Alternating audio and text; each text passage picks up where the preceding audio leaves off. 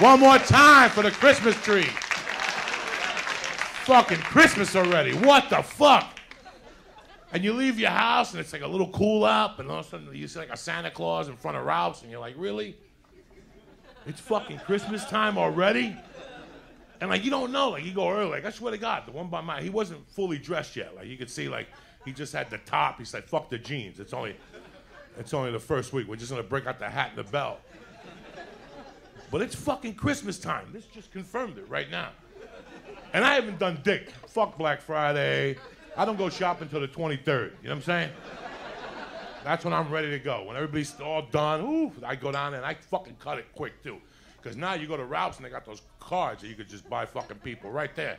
Right at the supermarket. You go Christmas shopping. Target, Olive Garden, fucking Costco, whatever the fuck they eat. You know what I'm saying?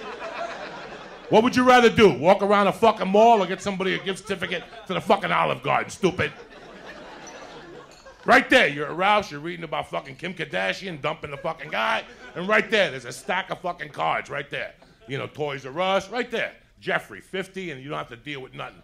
A Christmas card, a fucking signature, and a handshake like a motherfucker. You know what I'm saying? You ever shake somebody's hand for Christmas when you don't give them a present?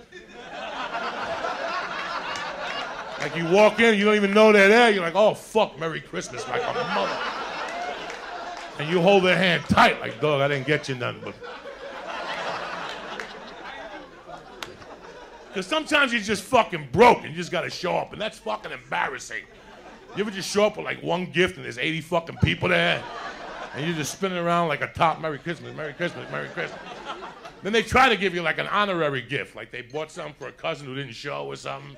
It's like a pink shirt, and you're like, oh, great, I was looking for fucking one or something. You know what I'm saying?